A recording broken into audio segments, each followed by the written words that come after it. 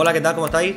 Bueno, estamos hablando aquí en privado y les he agradecido de forma privada, pero ahora públicamente aquí a, estas tres personas tan, tan exclusivas, tan especiales y tan buenas también. Eh, empiezo por donde veo la pantalla, que veo arriba a la izquierda, veo a, Marian García, Boticaria García, pues estupenda persona y, mejor científica y, aún mejor mm, humana. Cantante. cantante, eso. Pues ahí tenemos a una doctora en farmacia y nutricionista y bueno, y omnipresente en todos lados. Yo no sé cómo está viviendo estos días, que, me imagino que estará, pues eso, saturada. Como todos. Como todos, sí. todos. Pero bueno, hay que resistir. Sí, esta charla es muy original, ¿eh? No sé cómo se me ha ocurrido el tema este, con, con Quique hablándolo y dice, ¿qué, ¿qué se te ocurre? ¿Hablamos de agujeros negros? No, no, hablamos de esto. Bueno, a ver si no acaba esto como un agujero negro. Arriba a la derecha tenemos a Nerea Irigoyen, que es una crack de investigación en, virus, viróloga, que yo digo, viróloga es como bióloga pero con R, ¿no? Con, más estudios aún, con muchos estudios sobre los virus. Y está en Cambridge, está en una universidad hiperprestigiosa, que siempre hay que destacarlo, porque te ponen siempre el logan. Universidad de Cambridge, Departamento de Patologías. Hala. ¿Qué tal, Nerea? ¿Cómo estás? Buenas, ¿qué tal? Pues nada, aquí estamos intentando sobrellevarla. Intentando sobrellevarlo a nivel personal y a nivel profesional, que me estabas contando antes que no puedes trabajar. Eh, no, porque han cerrado todos los laboratorios de la universidad, o sea que de momento trabajamos en casa, pensando.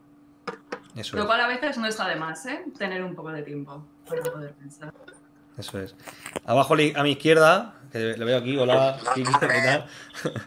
aquí a otro virólogo. Tenemos dos virólogos, como decía María antes en Twitter, dos virólogos en uno, en una charla, y director de Principia, grande también, donde los haya. La persona que se ve reflejada en, el monitor con sus gafas. Quique Royuela, ¿cómo estás? Bien, Santi, muy bien, aquí estamos. A ver qué, a ver qué sacamos en claro de, todo, un poquito. Pues sí, vamos, vamos a charlar, ya digo, quiero que, que charlemos de cosas un poco más originales de lo que se está hablando. Lo primero que os quería preguntar, en general, ya he dicho cómo lo estáis viviendo de forma personal y sobre todo quiero preguntaros por profesional.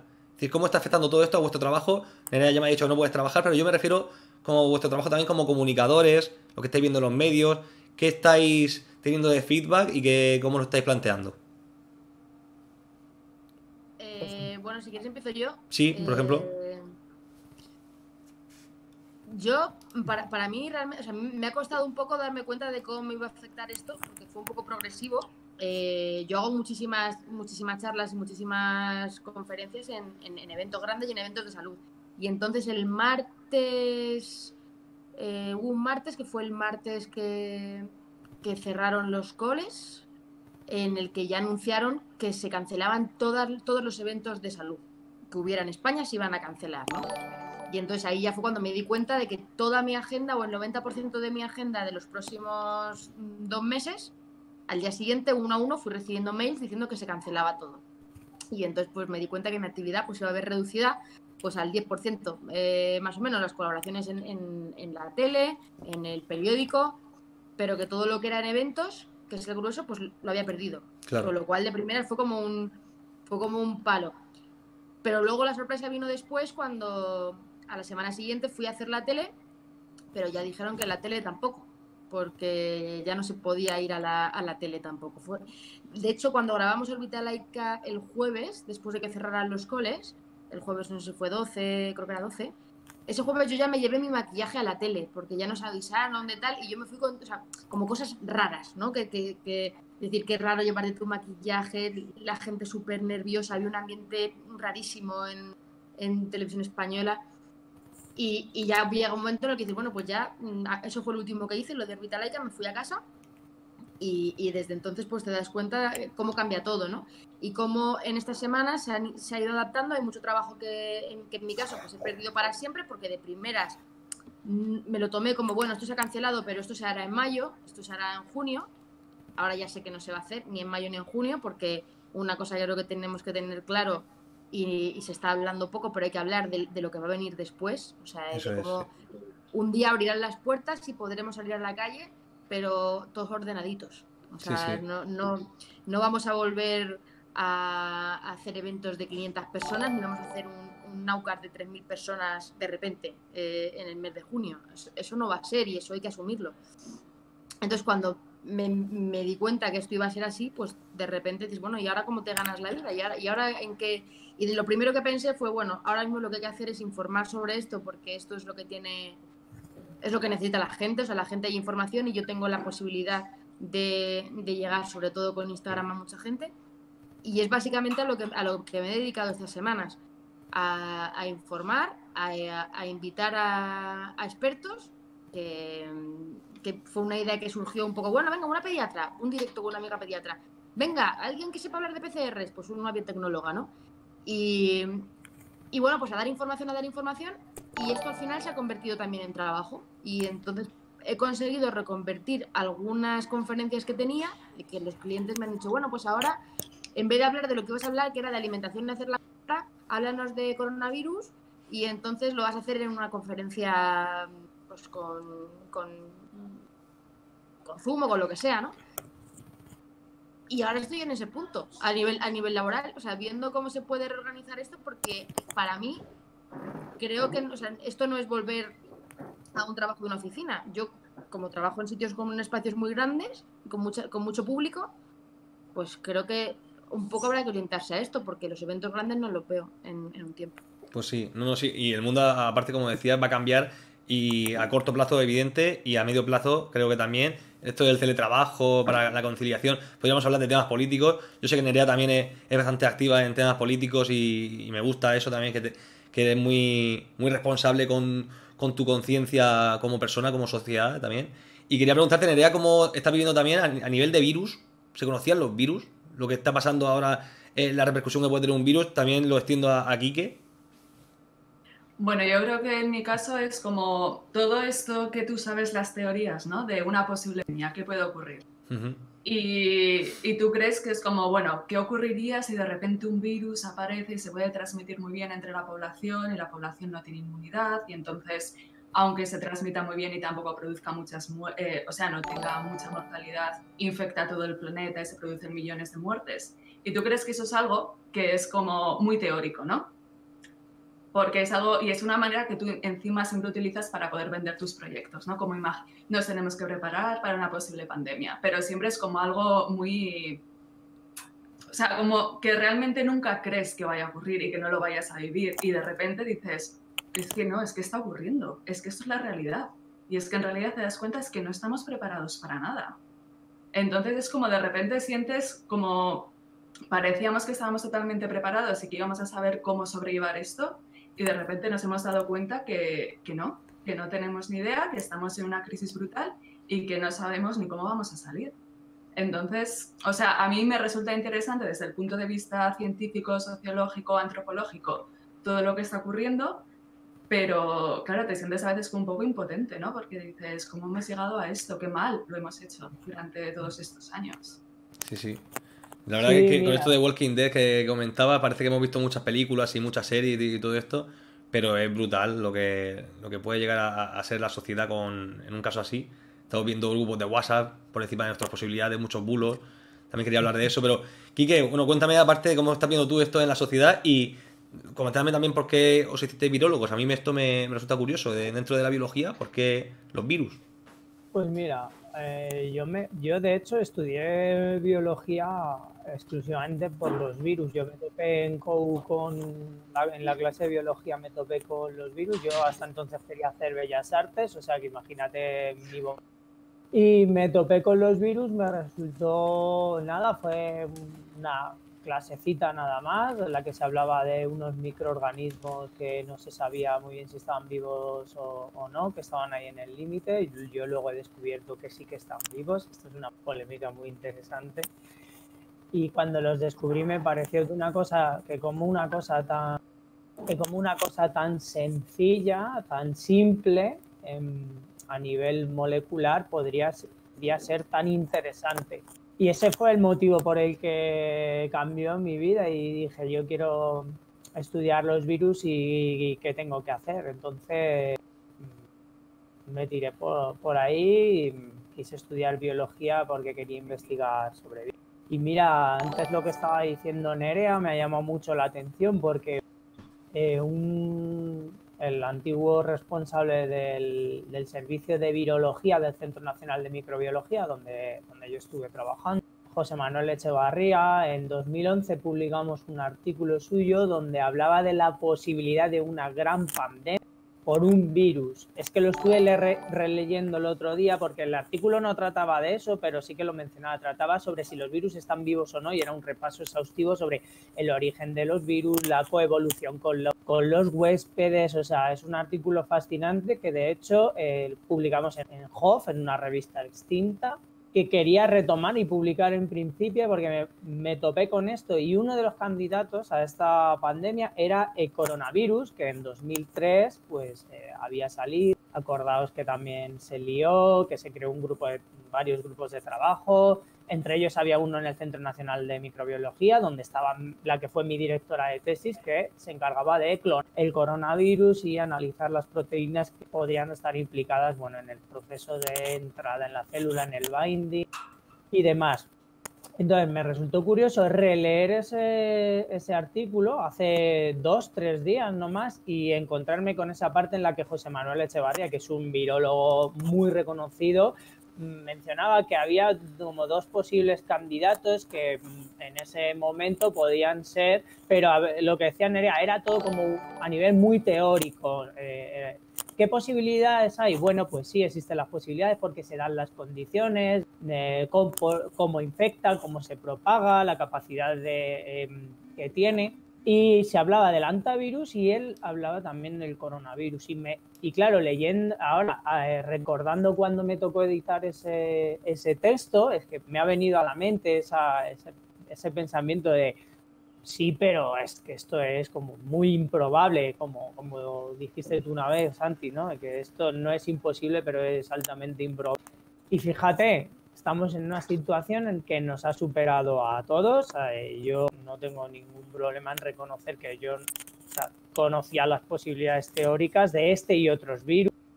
Siempre que me han preguntado, oye, si, si un agente, ¿cómo sería el agente bioterrorista ideal? ¿no? Que te lo, cuando eres virólogo te lo preguntan muchas veces. ¿Sería una bacteria o sería un virus? ¿Y, y, y cómo sería? Pues siempre te imaginas un virus así, como un virus que se transmite por el aire, que infecta muy rápido, que el contagio paciente a paciente es también muy rápido, que encima procede de una zoonosis, o, sea que es un virus nuevo. Y entonces como que se daban todas las condiciones, pero incluso viendo lo que había pasado en China, yo me resistía a pensar que eso pudiese ocurrir aquí en Europa, ¿no? Yo pensaba que estábamos mucho mejor preparados porque porque la realidad es que ves muchas cosas que suceden en China o en África. En África acaban de tener la segunda mayor epidemia más grande de ébola en, su historia que ha durado tres años. Entonces, y eso no te hace pensar que en, en Europa pueda pasar lo mismo. Sin embargo, ahora esto del coronavirus ha cambiado, lo ha cambiado todo ha cambiado nuestra forma de pensar, por lo menos la mía y, por lo que yo veo eh, en los comentarios de la gente, pero sobre todo a nivel científico, a nivel eh, los virólogos y epidemiólogos, yo creo que han cambiado su, su forma de pensar y ahora somos como más conscientes de que ya no estamos ante una situación teórica, sino que hemos visto que esto se puede, se puede producir y estamos viendo las consecuencias. Entonces, creo que eso es algo de lo que tenemos que empezar a aprender ya, porque sobre la marcha tenemos que, tenemos que ser conscientes de lo que ha ocurrido y, y, y, y sobre todo ser realistas y ver que esto es real. O sea, esto ya se ha producido, ya hemos pasado de esa, pues, de esa teoría, de esos virus potencialmente peligrosos, potencialmente pandémicos, y estamos en una situación muy pues compleja. Hablando de la gente, aquí hay personas escribiendo, dice AG Gira, dice que si se puede leer el artículo del que habla Quique en algún sitio. Si lo puedes pasar ahora lo compartimos, ¿vale? sí, lo tengo, lo tengo que reeditar porque ya te digo que es un artículo que estaba en PDF en, 2011, entonces sí, sí que mi intención es reeditarlo y que lo podamos leer. El siguiente principio, ¿no? ¿O en el blog? Lo pondremos en la web para que la gente En la web de pueda acceder a él. Sí. C. Canadá dice, de alguna manera nos sentíamos a salvo. Me pregunto en qué se basaba esa seguridad. Bueno, pues yo creo que también en la experiencia, digo yo, anterior. Antes que nada, bueno, me gustaría sacar un tema que, que no sé si es divertido, por lo menos a mí sí me, me hace a veces hasta risa, y creo que en cuestión de humor, eh, aquí somos un- unos cracks, en España por lo menos. Eh, los memes mm, alivian mucho a veces eh, este, esta angustia. Yo, a mi madre, por ejemplo, la tengo siempre angustiada, no yo, sino en la situación y la televisión. Siempre le echo gran responsabilidad a la televisión porque ella se, se informa a través de la televisión casi al 100% y sufre mucho. Padece muchísimo cada dato, cada información, el minuto a minuto este, cuando siempre digo que solamente hay un dato al día, ¿vale? Un informe al día y a través de ahí se informa. No hay un minuto a minuto, esto no es un partido de fútbol. Entonces, os quería... El que das tú, Santi. Solo hay un dato que es el que das tú al día. Sí. La referencia, ¿no? Ojalá, ojalá que va, que va. Hay, hay mucha, mucha gente que está en periodismo de datos, pues mm, potenciándose muy bien porque hace mucha falta. Y yo os quería preguntar, y empiezo yo, ¿cuál es vuestro bulo favorito de, estos, de estas semanas? Habéis dicho que ya llevamos 18 días.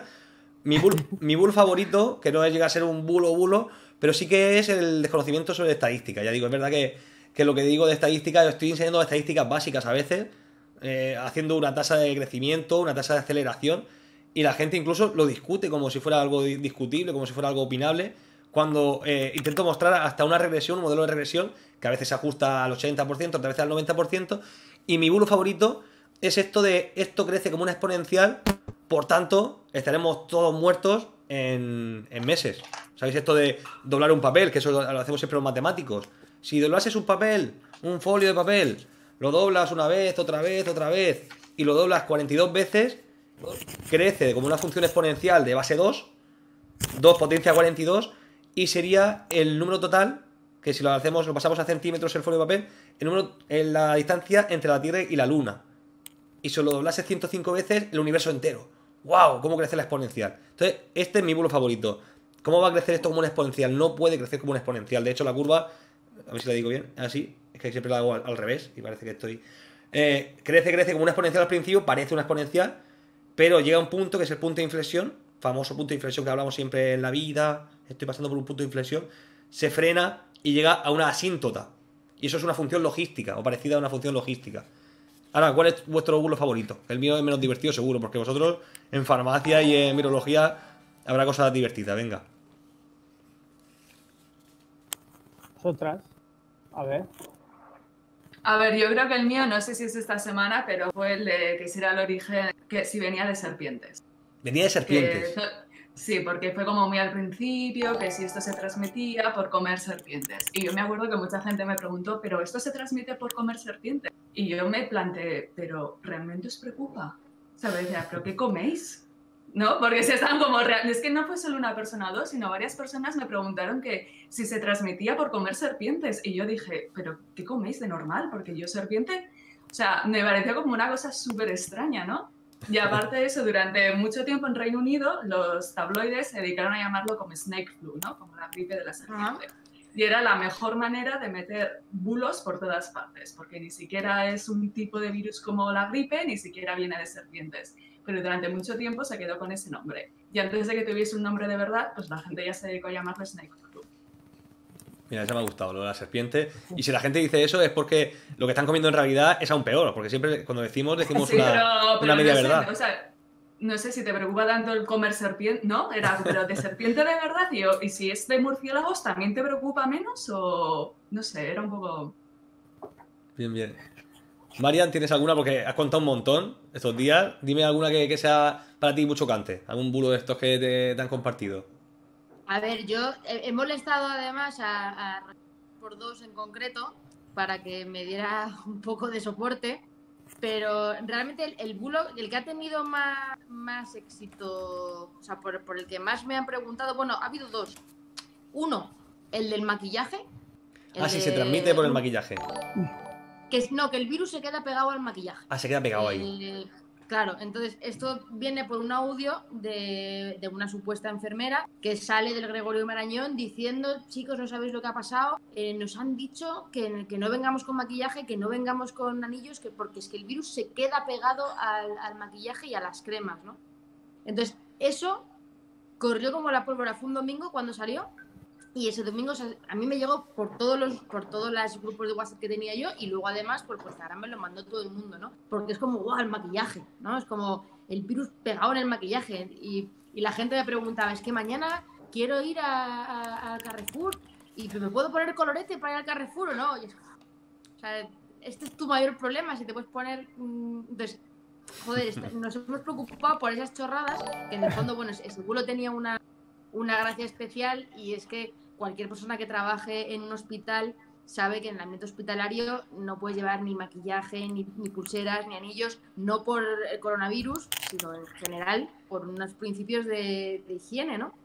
Pero bueno, esto ha corrido muchísimo y ha, y ha interesado. Entonces, y una de las cuestiones de, de estas con los bulos es que al final todo el mundo, que a mí me ha llamado mucho la atención, todo el mundo está esperando como una cura mágica, los, a los dos que le pregunté aquí, que uno fue el de los baos, el del médico ginecólogo que salía diciendo que era ginecólogo.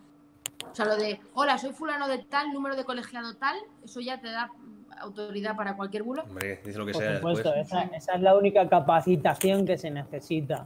Sí. Cuando, cuando, dices un pero, dice yo te quiero mucho, pero ya, ya puedes decir lo que quieras.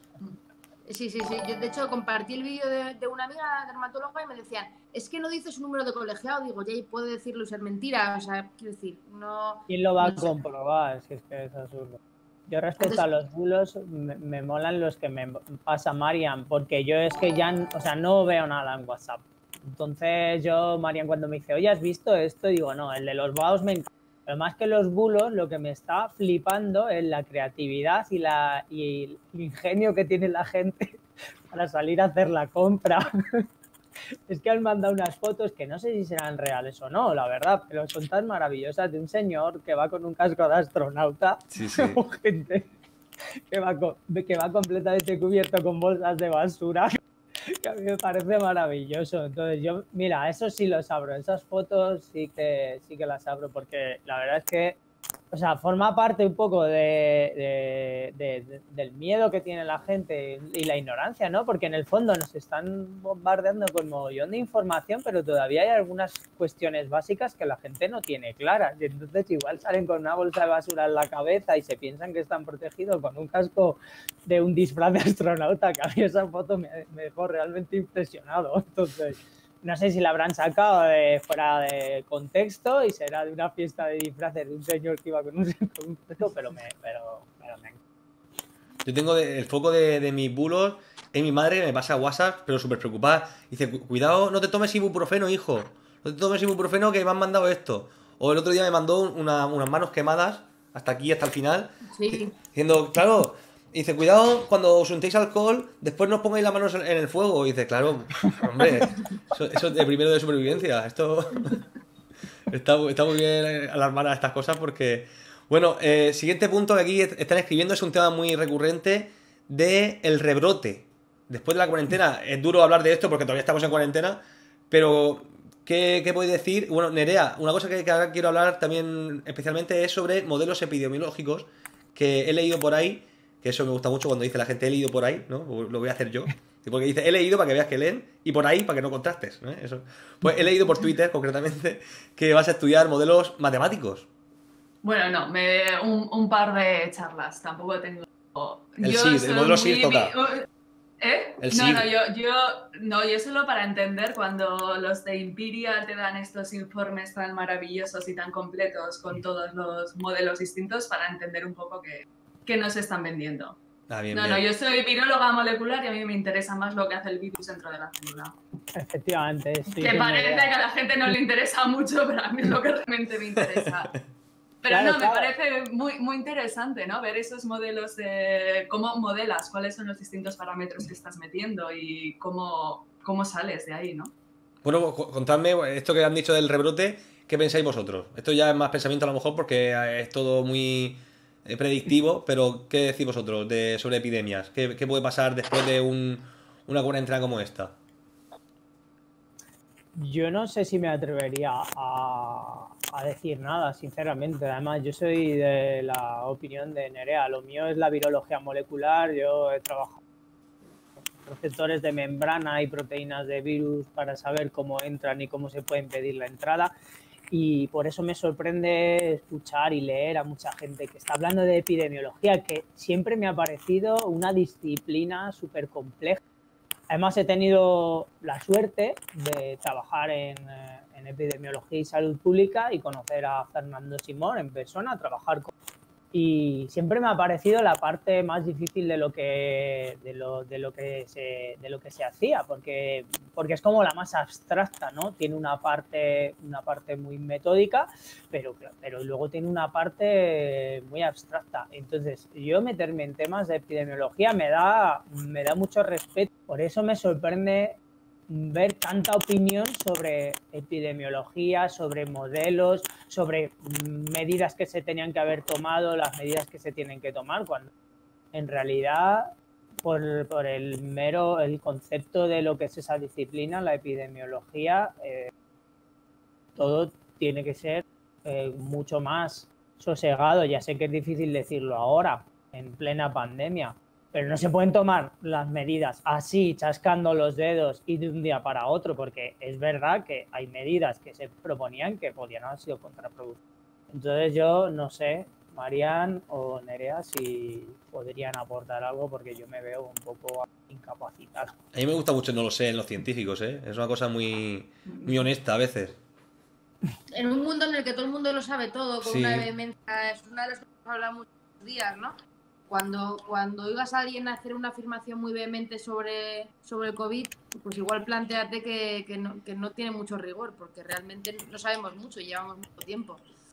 Yo tampoco podría decir nada. Yo, yo que lo que tengo es algo muy, muy básico, muy básico, muy básico, y es el pulso con, con la gente, de los mensajes que recibo, mensajes privados por Instagram, muchísimos a cada hora. Y la impresión que tengo yo con, con la gente fíjate, y, es, y es raro decirlo, es que mm, mucha gente no, no, no, sé cómo decirlo, no, no, sé si es políticamente correcto, pero creo que no, tenemos miedo suficiente.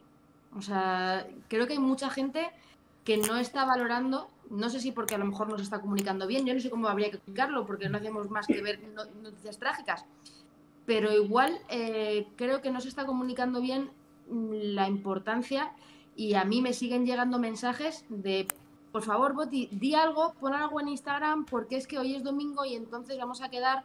Eh, mi padre ha dicho que vayamos a comer a casa y mi hermano va.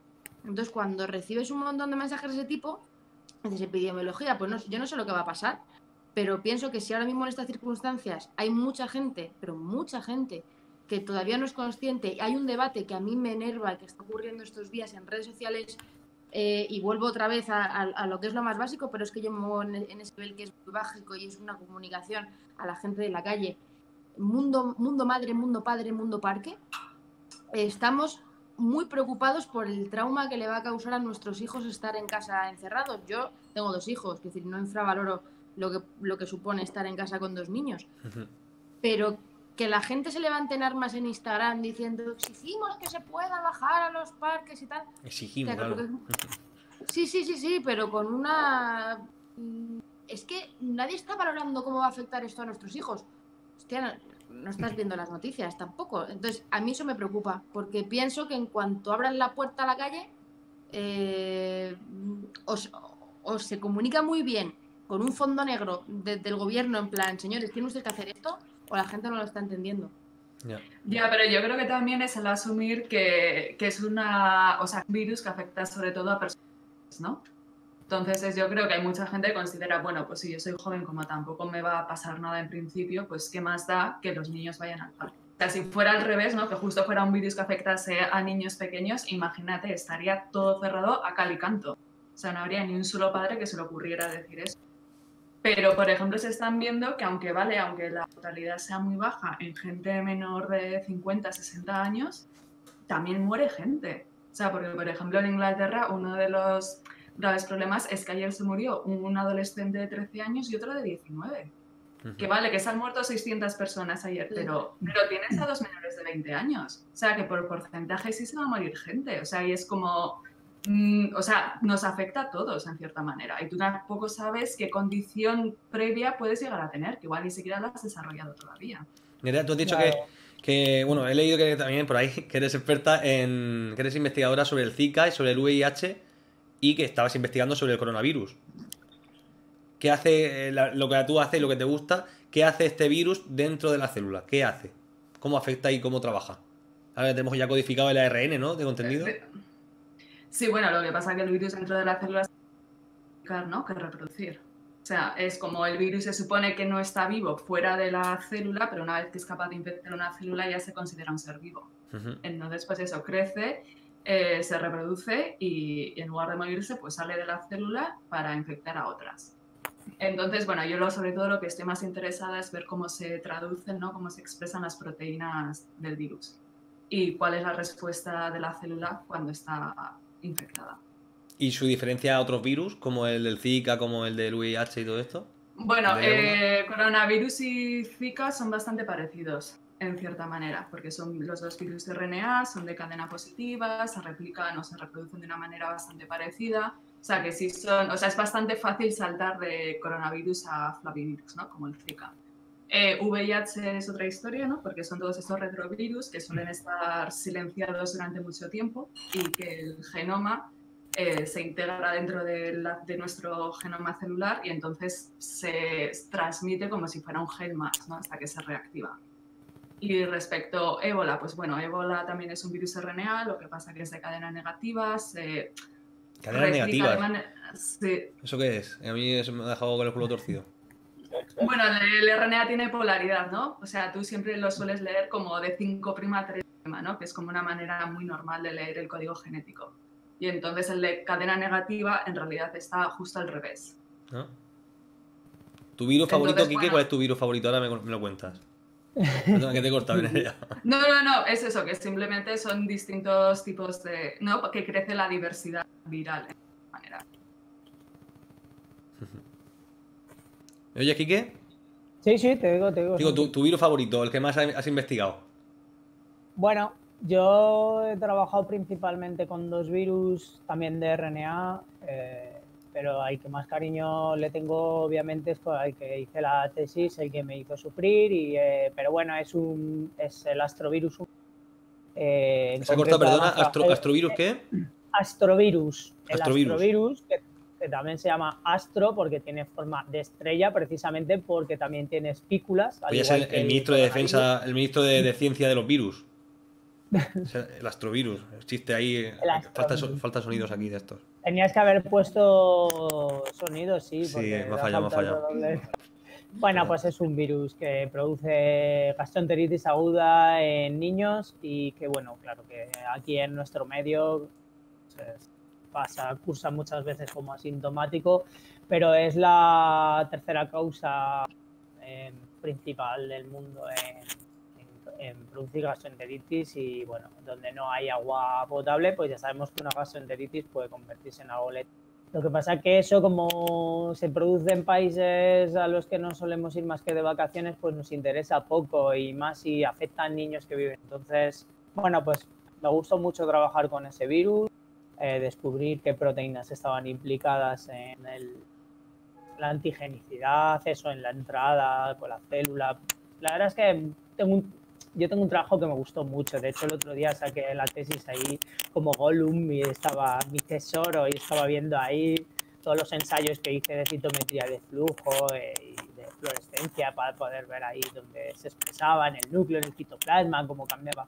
Bueno, al final la biología celular y molecular, que es lo que más me gusta, por eso no tengo conocimientos de ciertas disciplinas dentro de la salud pública porque luego sí que desarrollé un trabajo con virus vacunables, con parotiditis, sarampión y rubeola, donde compaginaba este estudio de cómo, cómo, cuál era el tipo de unión que tenían los virus con los anticuerpos, neutralizantes, que es uno de los principales medios para el desarrollo de vacunas, los anticuerpos, pero también desarrollé parte de vigilancia epidemiológica, que, es de lo que yo más me quejo que se ha ido recortando, porque parece que no interesa cuando se produce un brote de por un virus, pues por parotiditis, paperas, pues son de declaración obligatoria.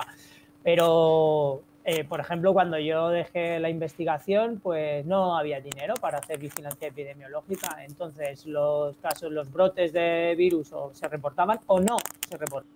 Entonces, igual te encontrabas que en un colegio se producía un brote de sarampión, eh, había 50 niños y muchas veces los colegios tampoco sabían si había que reportarlo o no reportarlo al Centro Nacional de Microbiología y de ahí los datos que sacaba el Centro Nacional de Epidemiología para tener esos datos de los que ahora todo el mundo se queja, pero es que no se hace nada, es que, pero es que hay que tener datos, es que hay que recopilar datos, es que la, la vigilancia epidemiológica es una de las bases de la epidemiología y si eso no se hace, oh, cómo me he ido, ¿no? De mi virus favorito, he acabado hablando de epidemiológica. Esto parece un capítulo de Los Simpsons, que empieza por un lado y termina por, a saber...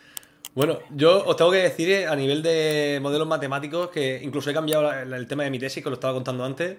Eh, estaba hablando, ah, trabajando antes sobre modelos genéticos de caso control, es decir, cuando tenemos eh, una población de casos que son enfermos, diagnosticados como enfermos, y otra de controles que a priori no son enfermos, ya sabéis. Y, estaba trabajando con eso, que es un modelo de, al final, de asociación genética, y además yo tengo un 0 o un 1 como, como codificación. Y esto lo estamos trasladando también a, modelos epidemiológicos, el más famoso, pues, lo he dicho antes a Nerea, el SIR, el de susceptibles, infectados, recuperados, que fijaos que en matemáticas, en concreto en estadístico, en estadística, los estadísticos no se están animando demasiado a hacer predicciones. Hay varias publicaciones de la UPV, ahora hace poco el, el CIEMAS también ha sacado otra, pero son predicciones un poco humildes o, por, decirlo, prudentes, porque es que es verdad, eh, es importante eh, a nivel científico el, cuando no lo sabes o eh, estás investigando, tienes que ser honesto y decir, estoy investigando, es que no tengo datos suficientes para, para sacar conclusiones. Y el modelo sí es interesante porque usa ecuaciones diferenciales, que son ecuaciones dinámicas de movimiento entre poblaciones y parece que predicen mejor o se estabiliza mejor entre poblaciones. Pero yo, como decía antes Marian, estoy trabajando sobre todo con regresiones lineales, algo súper sencillo, que es cuánto se parece esto a una línea. Tenía aquí antes, no, no quiero ser pesado con esto, que, que últimamente estoy muy on fire. Mira, vosotros a lo mejor no lo veis, pero en Twitch se ve. Mira, os, voy a poner en toda la cara. Mira, ahora Marian tienes una gráfica en la cara. Ahora Nerea y ahora Kike y ahora yo. ¿Vale? Esto es el, mundo del siglo XXI. Es que soy un poco boomer y. Bueno, y siempre pongo lo mismo. Que estamos hablando siempre de, del número de casos, del número de fallecidos, y así. Eh, Ferrera se puede estar pasando ahí cinco horas, bueno, Ana Rosa también, y todos los medios están pasándose horas y horas hablando del número de fallecidos diariamente, que es lo que hay, esa información, pero no se habla de la tendencia, que cuando a ti te preguntan cuándo, cuándo ha sido la época más feliz de tu vida, que se pongo un ejemplo muy chorra, pero a mí me gusta ponerlo, y dice, ¿cuál es la, época más feliz de tu vida? Y tú dices, la infancia. Y a ti te preguntan, ¿y cuándo ha sido la época que más has llorado? Dices, la infancia. Es decir, tu estado era felicidad, pero había picos de tristeza absoluta y llanto desconsolado, ¿vale? Cuando eres niño. Entonces es muy importante, lo pongo otra vez, es muy importante hablar de la tendencia y no solamente del estado puntual, del momento instantáneo, ¿vale? Es muy importante hablar de la tendencia. perdona, Santi, ¿por qué crees tú que los medios se está hablando, no, se está informando bien. Mira, hoy ha sido la primera vez que ha salido, se llamaba, sé, mm, no sé cómo, de la vanguardia. Eh, ha salido la sexta dando y ha contado cosas, pues, pues lo que estás contando tú. Ha hablado de tendencias, ha hablado de los infectados, no, no ha hablado tanto de las, de las muertes, ¿no? ¿Por qué se está informando tan mal de los datos? Porque hoy ha sido la primera vez. Corbella, Llevamos una tendencia unos días pero realmente no se está haciendo así. O sea, parece que es que o, que nos gusta regodearnos en lo o que porque da, más clics, o, pero hombre, si lo que queremos todos es salir de aquí, incluso por parte del gobierno. Eso es, eso es lo del misterio de los, medios de comunicación. Habría que, hacer un estudio y esto da para, tesis, no solamente cómo se contagia eh, este virus, sobre cómo se está contagiando el miedo, esto se podría medir. Y esto es increíble, a través de los medios de comunicación y a través de Twitter, que Twitter lo habéis dicho como ejemplo también, podríamos contar las palabras negativas que hay por día y cómo eso se ha reproducido como, como esta exponencial que estamos diciendo siempre. Yo creo que eso da, para tesis, ¿eh? Yo ahí lo dejo. Yo creo que los datos incluso son más acertados que los datos reales de coronavirus. Que son más acertados en, esto, ¿no? El, tipo de, miedo positivas, negativas, cómo cambian las tendencias un día según otro. Pero Por lo menos yo más acertados.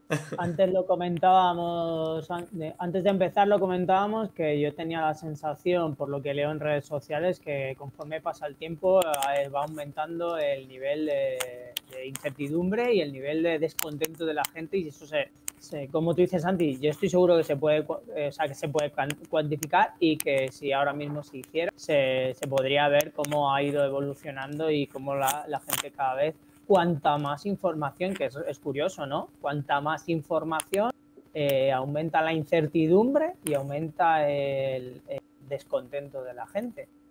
No sé... Pero lo que comentabas, lo comentabas antes, Quique, eh, lo, que, lo que decías de, bueno, es que las medidas se tienen que ir tomando se podían haber tomado medidas que, que hubieran sido contraproducentes. Había un comentario que, que he leído antes ahí en el chat que decían, la gente es que no sabe cuándo va a poder volver y se ponen nerviosos, se inquietan porque no le ven un fin, ¿no? Claro. Pero, pero claro, la cuestión es, es que la gente quiere que le digan, no, vas a estar cuatro semanas o vas a estar seis semanas. Y la gente lo que tiene que desarrollar, que es muy complicado, es la paciencia, porque tiene que, es que eso no se puede saber. No es que no haya una fecha por fastidiar, es que hay una fecha porque no se sabe, ojalá se supiera esa tendencia, ojalá se supiera cuándo, cuando se puede, ¿no? Pero como la gente no es capaz de asumir que no tenemos como no hay una proyección, como hay una incertidumbre, lo peor es la incertidumbre, así estamos y eso perjudica a todo lo demás. Eso es. Totalmente. Tengo aquí una, parte que, a mí era mi favorita, que eran eh, preguntas cuyas respuestas son sí o no, y hay un. Eh, podéis desarrollar, pero como en un tweet, ¿vale? Tenéis que explicarlo eh, brevemente y yo la suelto a, a buena pluma y la cogéis el que quiera cogerla, ¿vale? El que darle más, más rápido.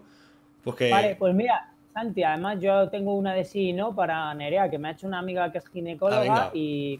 Vale. ¿Quieres, ¿Empiezo yo entonces? Em, yo, tengo, yo tengo aquí unas una 10, 12. Y, si quieres empiezas yo tú. Solo tengo, yo solo tengo una. Venga, vale. Me ha hecho María Cerrillo, que nos está escuchando, es ginecóloga, y, dice que el Zika, que en el Zika sí que hay transmisión vertical. Eh, y que si se sabe si en el coronavirus la hay, porque yo la verdad es que no tengo ni idea. Eh, yo creo que, o sea, vertical de o sea, de una madre gestante a, feto.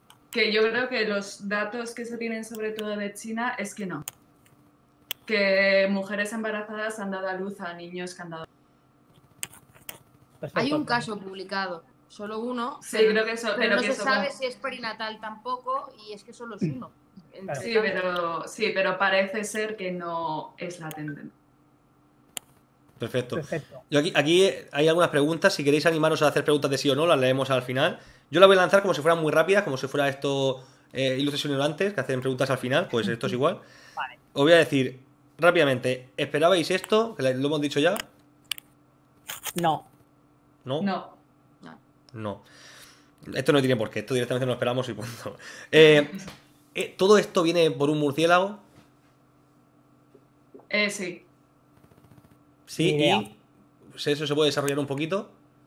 Eh, bueno, no es que venga por el murciélago, o sea, se ha visto que el virus eh, procede del murciélago, lo que pasa que luego se ha, estado en una especie intermedia para que sea más transmisible entre humanos. Pero otra cosa de las que decía aquí, que de vigilancia epidemiológica, el... Uy, perdón que se, ha cortado el sonido ahí, Nerea. Ah, que, o sea, no sé dónde me he quedado pero que hacía tres años en pangolines, que se supone que ahora es la especie intermedia, ya se había detectado este tipo de virus. Pero como no se invierte demasiado en vigilancia epidemiológica, tampoco se siguió. Exacto. De hecho, yo he hablado con amigos zoólogos que descartan que el pangolín sea el reservorio natural del coronavirus. Entonces, lo del murciélago sí, se ha dicho que, está presente en murciélagos, pero no sé si se, no sé si se sabe a ciencia cierta cuál es el reservorio natural y sobre todo cuál es el origen, ¿no? Porque hay eh, otra cosa es que esté presente en varios eh, tipos de animales. Eso es lo, normal, que no lo que se puede encontrar será eso, en varios. Vale. Esta pregunta es un poco así bluff, pero también me interesaba, sobre todo al principio, que, la pregunta es eh, si nos puede contagiar cualquier animal un tipo de virus como este. Concretamente me preocupa el tema de perros y gatos, que hay, muchos que se han abandonado. Con, el miedo este. No se puede contagiar desde cualquier. Bueno, ha, salido hoy un preprint mm, diciendo que se han detectado, o sea, que han podido infectar en el laboratorio con este virus pero que no parece que sea muy eficiente la transmisión entre gatos tampoco y que no creen que puedan transmitir a humanos. Hmm. Yo he leído un único caso de, en el caso de un perro y, y es que estamos hablando, cuando estamos hablando de un caso, ¿sabes? lanzar ese tipo de afirmaciones son muy peligrosas porque es lo que tú dices, se están abandonando animales domésticos simplemente por lo que se está diciendo. Y una cosa es que un gato o un perro pueda infectarse y otra cosa es que se pueda dar una zoonosis inversa, o sea, de, de humano a animal, de animal a humano, que todas las especies animales puedan ser transmisoras. Estamos hablando que los virus llevan millones de años evolucionando, han coevolucionado con sus huéspedes, se sienten muy a gusto normalmente, o sea, son específicos, suelen ser específicos a nivel de especie, paga la redundancia. No es, no es tan fácil, a los virus no les gusta tanto ir cambiando de huésped, de perro a gato, de gato a, humano, de humano a perro. Entonces, no nos volvamos locos, vamos a esperar a ver qué ensayos se hacen en el laboratorio y no saquemos conclusiones de un único caso de un perro que dicen que se murió o un gato que lo ha transmitido a la cobaya. Bueno, hmm. vamos a vamos a esperar a, tener un tamaño. El, problema es que, como se, como se ha tenido poca información, una de las primeras infografías de la OMS, que fue de finales de enero, incluía los animales y tenía dibujado, no sé, una gallina, una granja, un cerdito, y ponía cuidado con los animales de la granja. Entonces, incluso desde la propia OMS al principio se barajaban estas teorías. Entonces, claro, cuando esto lo publicas y llega a la gente, luego echar para atrás estas ideas también es complicado. Claro, hay, que ser muy sensible con la información que se da y cómo se da, porque obviamente existe la posibilidad de esa transmisión. Otra cosa es que una cosa es que sea posible y otra cosa es que sea real, sea, que se ha, se ha demostrado en el, que se haya demostrado en el laboratorio, que eso es así. Vale. Aquí pregunta Rosalía Alonso, la, la pregunta recíproca más o menos está respondida, que dice si se puede contagiar de un humano a un animal doméstico. Y lo mismo, ¿no? Es decir, no, no a priori, a no ser que tenga que hacer una mutación, que eso es una cosa también un poco improbable. Es, es lo mismo, podría, podría. O sea, a nivel... Eh, hay algún caso, creo que hay algún caso que, como te digo, de un humano a un... Y, pero no, sacar conclusiones de ahí no sé, Nerea, que... No, también yo creo que tienen que ser circunstancias muy específicas, ¿no? O sea, igual si la relación humano-animal es estrecha, si duermen juntos en la misma cama, si pues igual sí puedes. O sea, potencialmente infectable, pues sí. Que sea lo normal, pues no.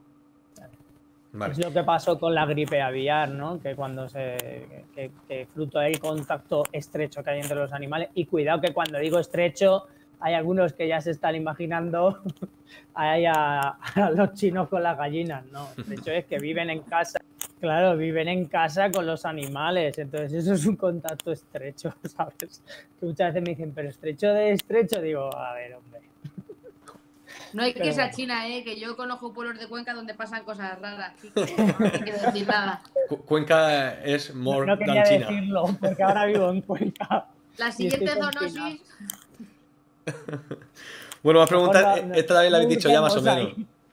Que la pregunta es si un virus está vivo, que el debate clásico habéis respondido más o menos y me ha dicho, Kike la ha planteado al principio y Nerea también ha dicho que cuando entra en una célula ya sí, porque cumple la función de estar vivo, ¿no? Eh, sí, para mí sí. ¿Pero por qué es el debate este? Contadme un poco el debate este de si los virus están vivos o no. Bueno, está muy claro porque hay una definición de lo que es un ser vivo, que tiene que cumplir una serie de funciones, relación, reproducción y, y, morir. ¿eh? Y morir. Bueno. Vale, básicamente tiene que cumplir esas, esas condiciones. Estamos hablando de una definición del siglo XVIII que quizás, y llámame loco, ¿eh? quizás sea el momento de replantearse si es la definición más exacta para aplicársela a unos organismos como los virus que eh, son peculiares, tienen una forma de, una forma de coexistir.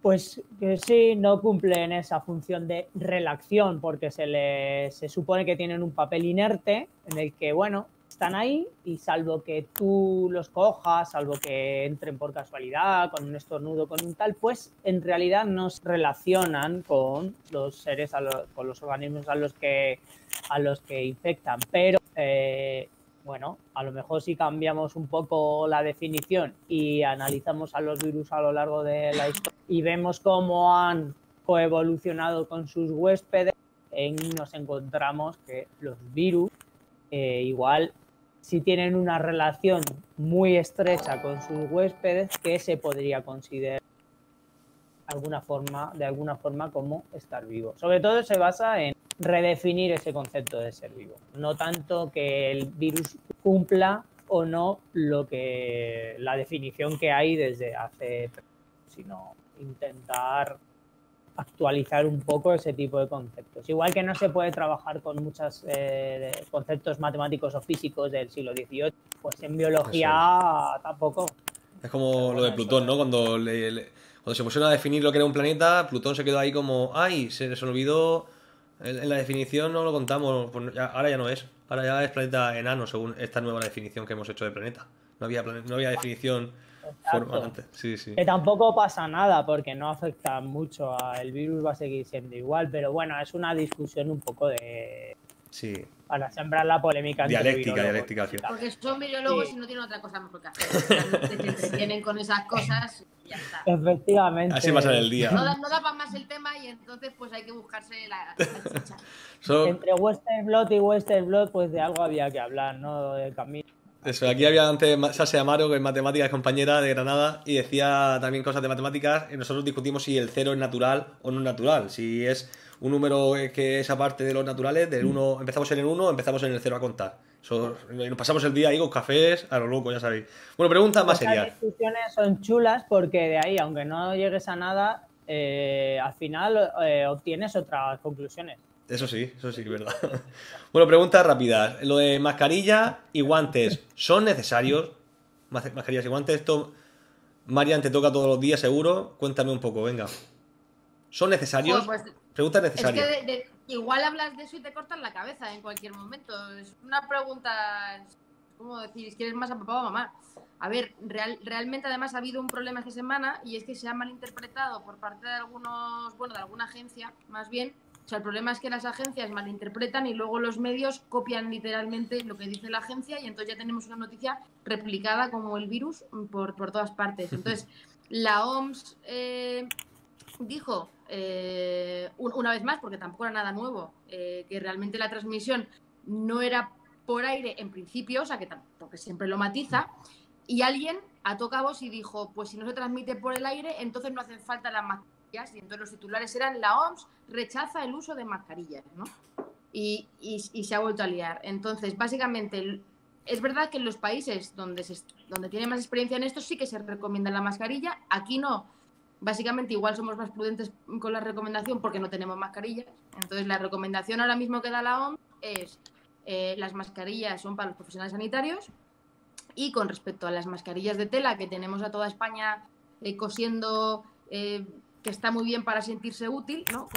Es la función que tiene, pero sí que realmente, pues desde los eh, centros de control de las enfermedades lo que han dicho es que no sirven para proteger y que no se debe alentar a su uso, pero que en el caso mm, de no tener otra cosa y como último recurso, se podrían usar. O sea, es decir, se mojan y no se mojan. O sea, dicen, a ver, esto realmente, ¿qué, te voy a decir? Que te previene si no es una FFP2. O sea, realmente no, no te puedo decir que previene.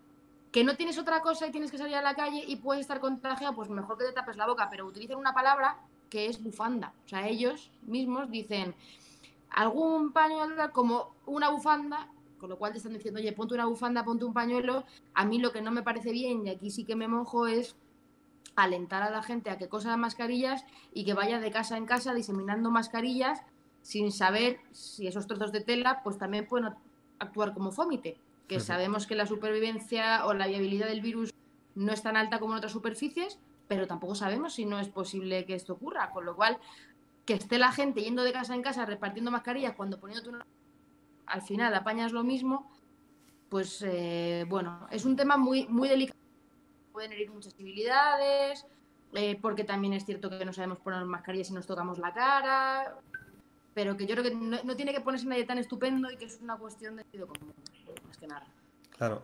Además, esto es un seco de percepción, al final, como dices, al final tú por la falsa sensibilidad de protección, a lo mejor descuidas tocarte los ojos, rascarte con el dedo. El otro día me decían que el mensaje más importante, una enfermera me decía, mensaje importantísimo decir que no se toquen la cara. Que hay, hay gente que dice, usa la azul de vez de la diestra para no sé qué y así después te rascas con la derecha.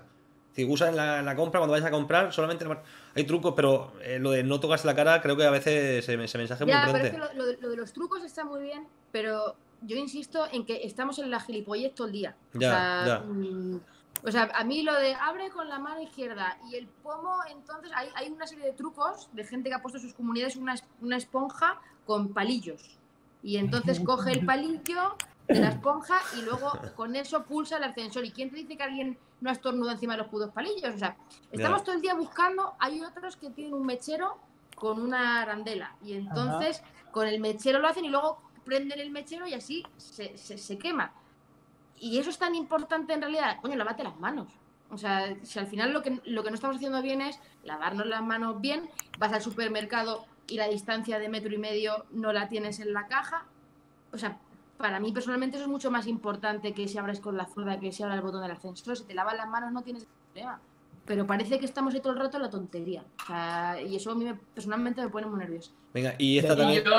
Yo, ahí añadiría lo de los guantes también, Marian. Que, o sea, que la gente se pone guantes, pero si luego vas a seguir tocando el móvil con los guantes, no uses guantes, lávate las manos. Porque, o sea, tú vas cogiendo todo con los guantes, después tocas el móvil y luego te pones a hablar con el móvil, ¿no? Pues entonces, ¿dónde has cortado la transmisión? Y yo creo que el problema es no es, no es que sea usarlos, es saber cómo usarlos o cómo te quitar los guantes y si eso no lo interiorizamos, pues es tontería. Es mejor que te laves las manos cuatro veces más. Eso es. Pero que la gente está en el supermercado con el guante de nitrilo cogiendo la manzana. Y es como, como tu mano. O sea, decir, tienes que ponerte otro guante de plástico del super encima de tu guante de nitrilo. ¿Te da la inmunidad? No. O sea, es esa falsa sensación.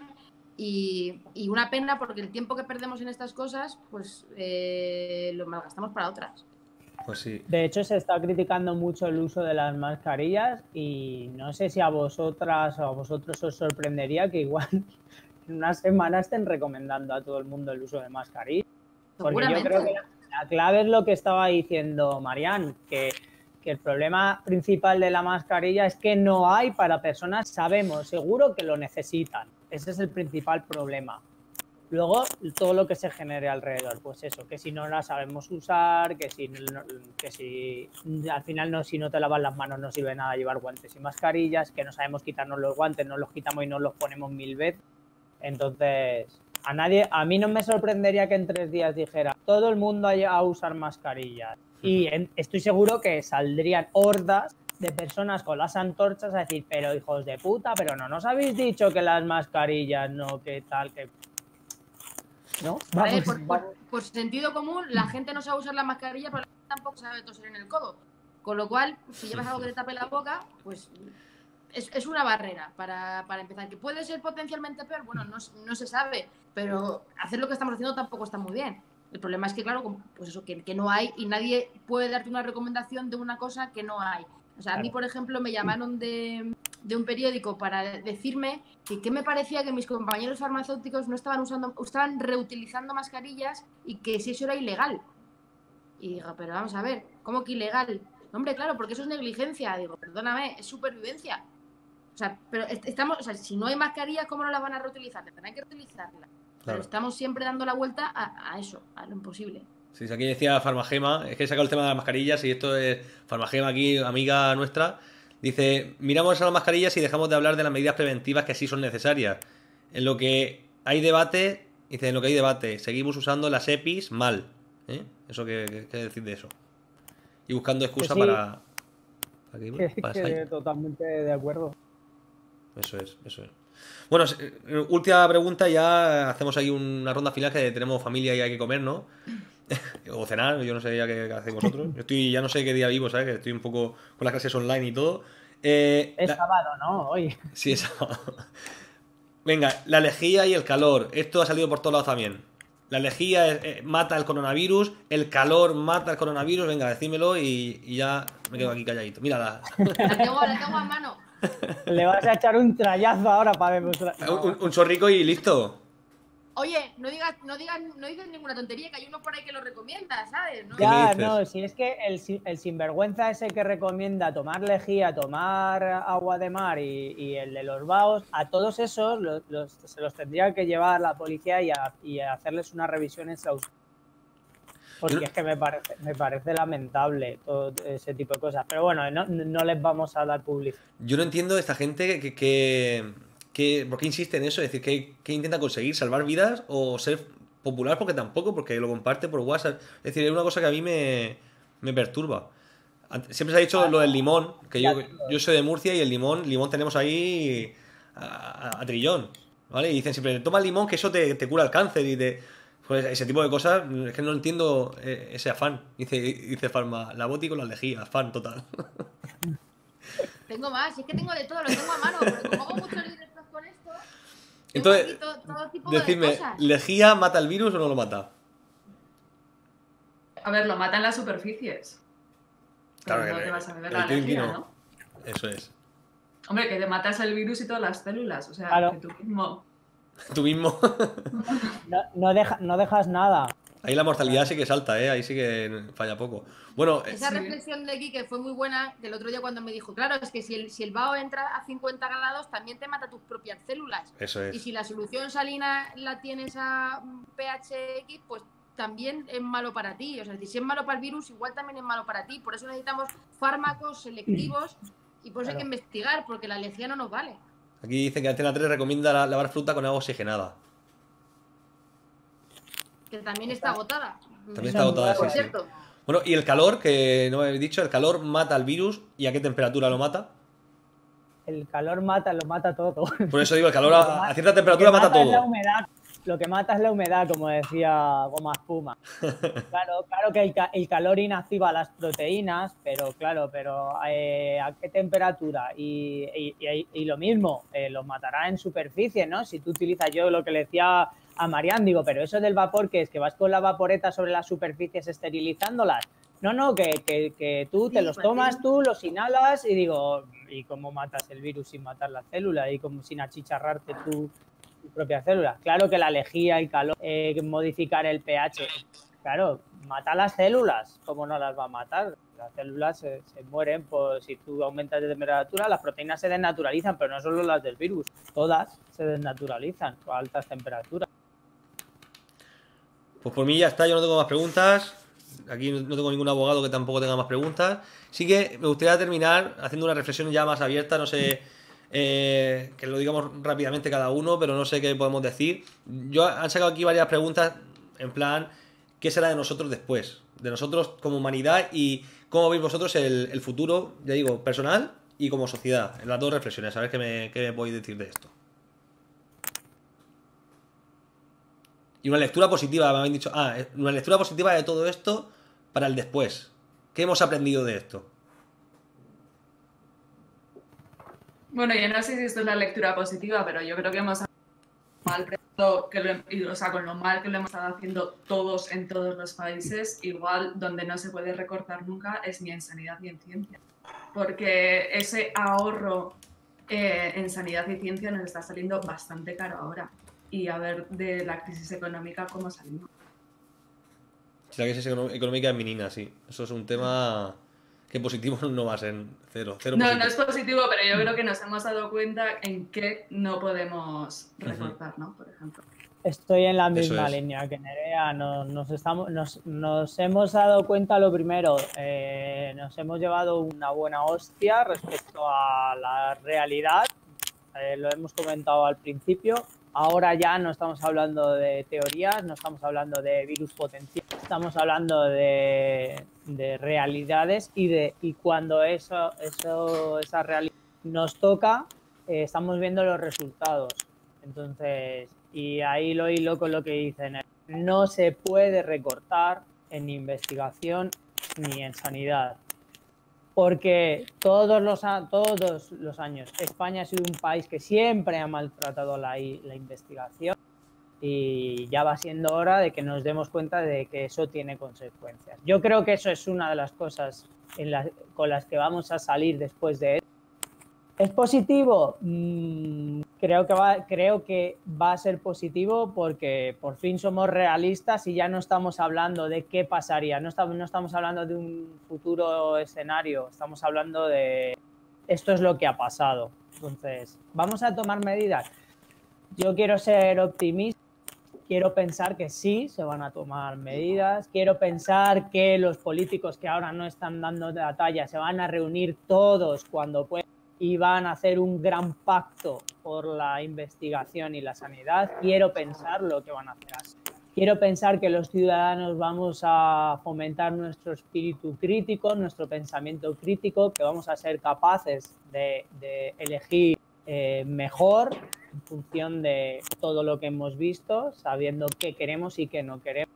Esa capacidad crítica nos debe afectar a todos los niveles. Y quiero ser optimista pese al escenario tan, tan eh, catastrófico que nos espera, porque la crisis económica muy grande y una crisis también de identidad como, como país. Creo que, que se va a producir, va a ser muy severa y vamos a tener que estar a la altura que no estoy viendo en la clase política.